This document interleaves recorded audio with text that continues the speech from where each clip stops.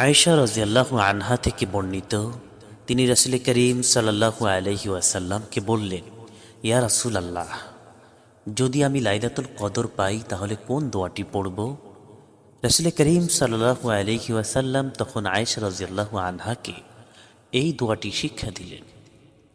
দোয়াটি হল আল্লাহ